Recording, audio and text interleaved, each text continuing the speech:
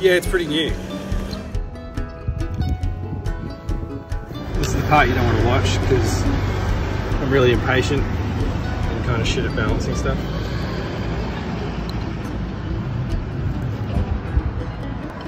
Just gonna take the lens cap off. Thanks, Bill. Very cool, mate. You know I'm going to turn it on now, even though it's the shittest balance ever. you know that's going to happen, right? Okay. That's actually mad. Are you doing a YouTube video now? Yeah, do you want to see something cool? Yeah.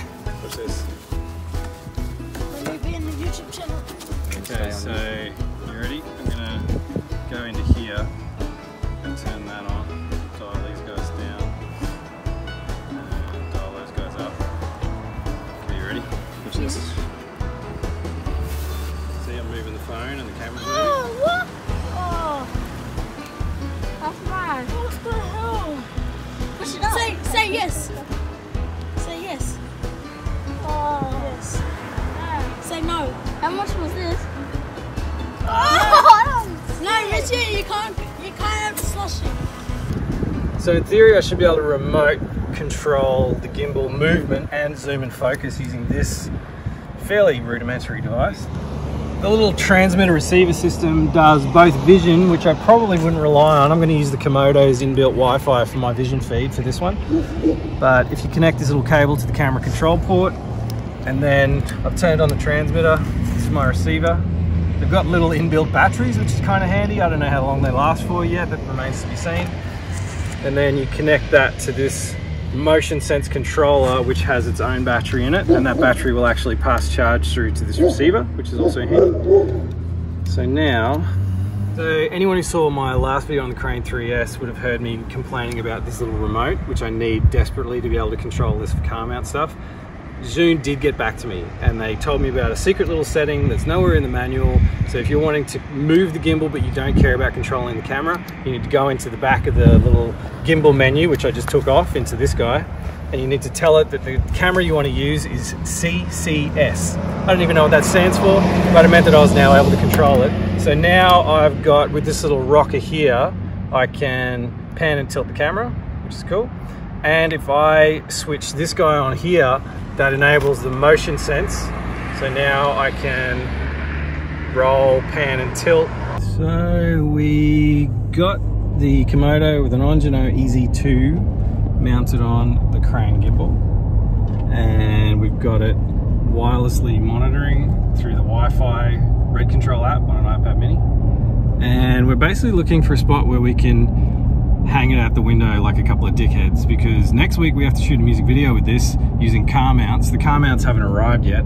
So what better way to figure out if this thing can handle wind and car movement and all the other insane variables shooting outside cars than just using your arm and hanging it out the window. So yeah, this should be either hugely successful or a massive viral video. So let's see what happens.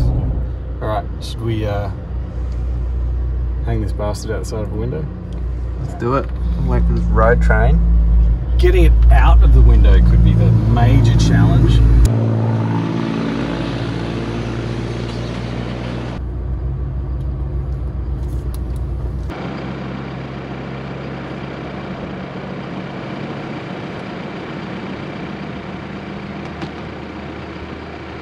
Oi, oi, oi. So now, thanks to red control, we can roll. All you have to do, you've got all your settings here, and if you just pinch on the monitor, you get to go full screen.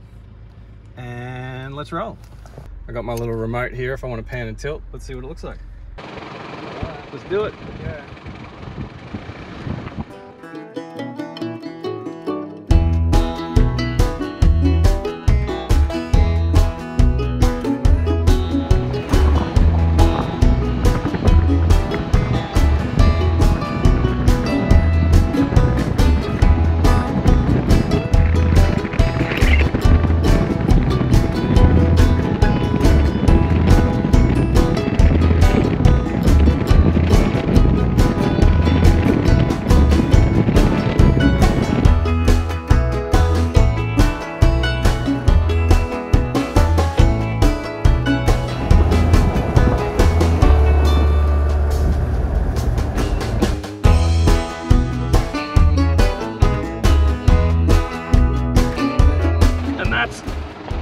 That's with the crane motors on the third to highest setting. So I've still got two strength settings that I could go above that.